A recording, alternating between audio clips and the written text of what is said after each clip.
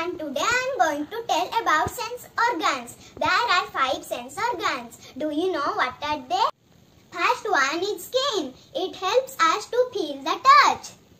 Second one is eye. It helps us to look around for vision.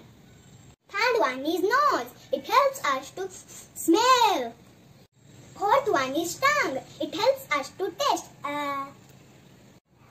one ear. It helps us to hear all the sound around us.